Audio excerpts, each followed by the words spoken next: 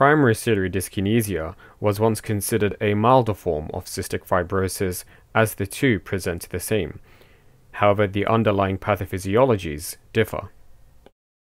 Now, in cystic fibrosis, we have a defective CFTR gene.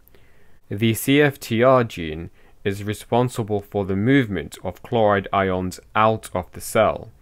It is also responsible for the inhibition of the epithelial sodium channel. So this here is the ENaC channel. So if this is inhibited, sodium stays outside the cell in the lumen. Now remember, wherever sodium is, water shall follow. Because chloride and sodium are both in the lumen, water shall follow. So the water is now in the lumen. This here ensures that the lumen, the lung lumen, is lubricated and hydrated.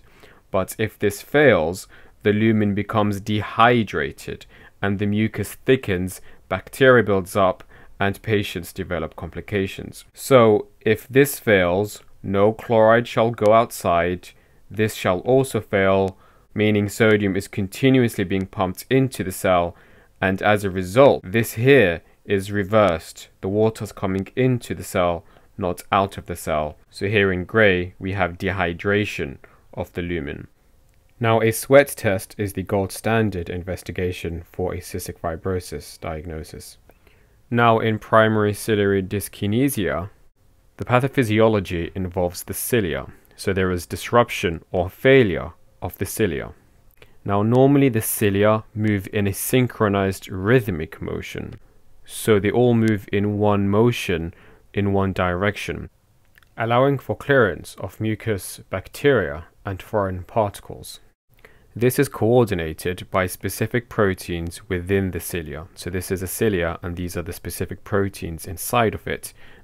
Now in PCD, there is disruption or an abnormality of these proteins.